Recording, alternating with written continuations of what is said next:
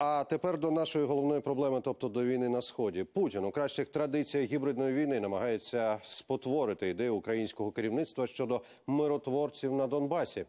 Так, перший віце-спікер Ірина Геращенко відреагувала на заяву глави Кремля.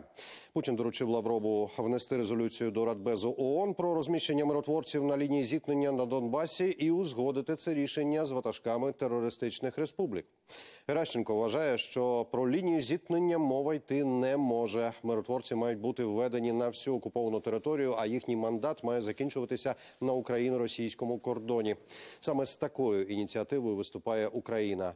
Ну а ще Путін висловився проти поставок американської зброї Києву і недвозначно дав зрозуміти, що в такому разі Кремль спрямує агресію бойовиків в інші регіони України. Решение Соединенных Штатов, кому продавать оружие или поставлять бесплатно, и той страны, которая является реципиентом этой, этой помощи. Э, Мы к этому, мы на этот процесс повлиять никак не сможем. И если американское оружие будет поступать в зону конфликта, ну, трудно сказать, как будут реагировать провозглашенные республики. Может быть, они направят имеющееся у них оружие в другие зоны конфликта, которые чувствительны для тех, кто создает проблемы для них.